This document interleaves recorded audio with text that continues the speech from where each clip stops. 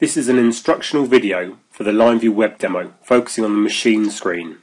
It is best to have seen the summary and navigation video first. This screen can be selected from the overview or status screen by clicking on the machine name. Once on this screen there is a drop down menu for selecting other machines. This screen provides more detail for each of the main machines on the line.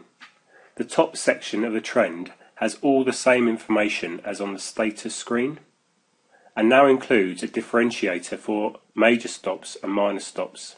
The time period difference for these can be user configurable.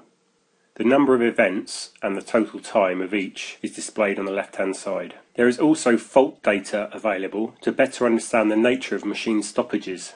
This is normally automatic and comes directly from machine PLCs.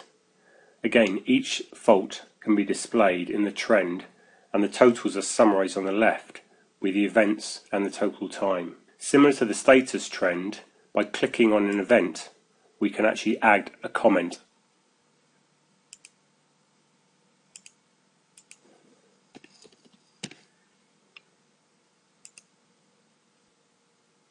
When an event has been entered, it is displayed by the green triangle in the top left hand corner. At the bottom of the trend, we can see the speed of the machine versus its rated speed, the green being the rated speed and the white being the actual speed of the machine. When we toggle this off, we can then display the machine efficiency instead.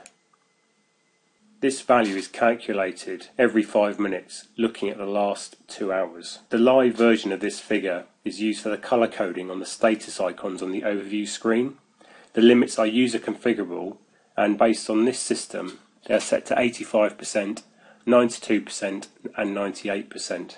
Under the trend we have various machine metrics. These include OEE, overall equipment effectiveness, efficiency, availability, performance and quality, and then a series of mean time values including mean time between failure, mean time to repair, mean time to repair of a breakdown, mean time between touch, and mean time between change.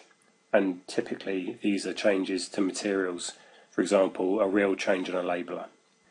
This screen is really helpful to understand the true nature of machine stoppages and ensures the effort is focused on the right areas of a machine. It can then be used to better understand if the true causal loss fixes have been implemented by reviewing after the action has been taken. The next step would be to go to the actual production line and specifically to the causal loss machines to take action and reduce these losses.